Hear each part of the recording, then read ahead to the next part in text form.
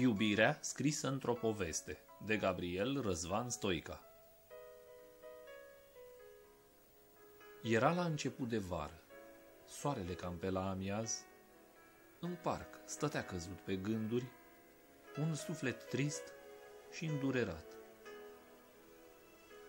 Lacrimile-i curgeau și roaie, suspinând și oftând din greu, că nimeni nu era aproape să o alinte să o sprijine la greu. De ea se apropie un băiat.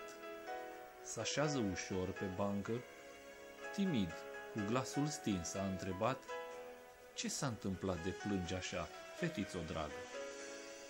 Ea, ochii își ridică către el, își șterge lacrimile cu grijă, printre suspine îi spune încet, sunt singură, nefericită. Am iubit mult și am fost mințită. Sufletul i l-am dăruit, dar n-a contat că eu i-am fost aproape, fără niciun motiv m-a părăsit.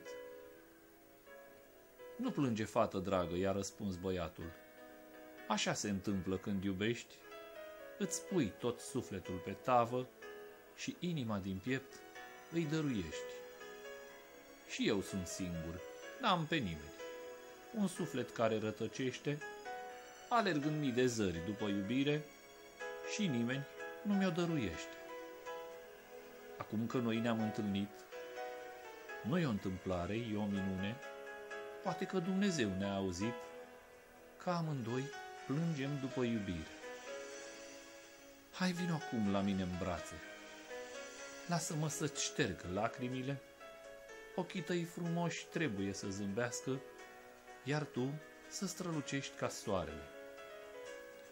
Hai împreună să pornim pe un drum, să ne avem unul pe altul, iubirea să ne îmbrace în al ei parfum, soarele pentru noi să strălucească. La fel ca tine, am suferit și eu. Am plâns din dragoste după îngerul meu, lacrimile din ochi ochii mei s-au transformat în râu, numai eu știu cât a plâns sufletul meu. Cei doi s-au luat în brațe și s-au sărutat și împreună și-au jurat să nu mai plângă niciodată, să fie veseli, să zâmbească. Pe loc, ei s-au îndrăgostit.